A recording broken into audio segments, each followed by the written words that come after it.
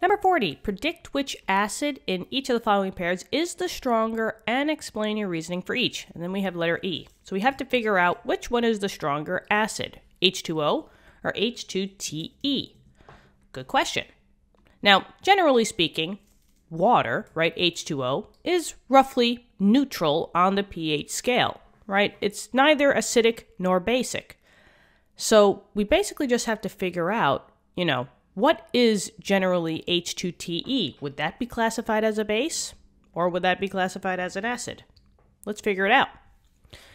Well, what type of acids are these? I see for each one of them, I only have a hydrogen and then one other element. The other element here is the oxygen in H2O, and the other element here is the tellurium, Te, right, for H-E-T-E. So whenever you see that you just have a hydrogen with just one other element, I don't care what that element is, uh, this would be classified as a binary acid. Binary means two, so you have just two elements in your uh, compound. Okay, so since both of them are binary acids, I could use my binary acid trend.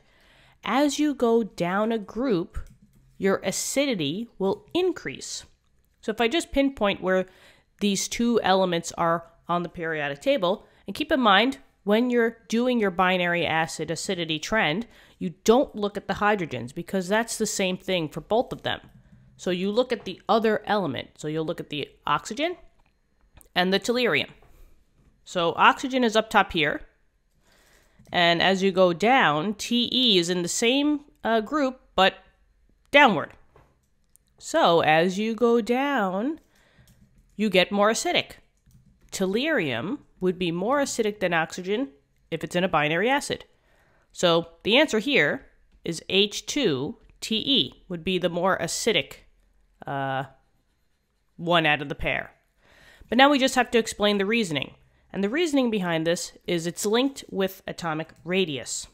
As you go down a group as well, you become bigger and bigger. Your atomic radius increases. So if we do this in terms of dots, oxygen would be like a little dot. And then as you go down, you get bigger. And if I really draw this to scale, there should be four apart, but I'll try to make it, you know, whee, there we go. That looks, that's a good scale. So if you notice, oxygen is really small, tellurium is a really big atom, or the radius is large. So if I just draw this, tellurium would be really, really big. So here's like H2TE. And oxygen, on the other hand, would be really, really small. So we'll, I'll just do it a different color. Now they're both bound to hydrogens. I'm only going to draw one of them because that kind of gets the point across. But a hydrogen is a hydrogen, and hydrogens are very small. So I'm going to just draw this hydrogen over here, and then the same color over there, right? Now, look at the bonds between the oxygen and the hydrogen.